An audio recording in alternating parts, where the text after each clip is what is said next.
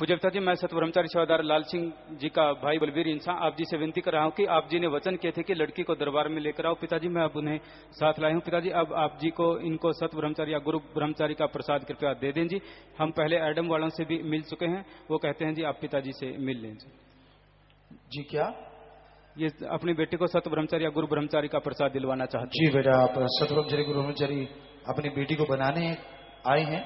तो बेटा दो वचन पक्के होते हैं, शराब यहाँ नहीं मिलती मांस अंडा यहाँ नहीं होता आश्रम में। एक चीज़ ब्रह्मचर्य का पालन, अगर आपकी बेटी उसके पक्का उसका पालन कर सकती है तो आप यहाँ एडम ब्लॉक में उनको मिलें, हम तो प्रसाद देने वाले हैं, लिखित कार्रवाई वो करते हैं, बनाते वो हैं, बाद में प्रसाद हमसे ले लेते तो आप पचास नंबर एडम ब्लॉक में जुम्मेवारों को मिल लें।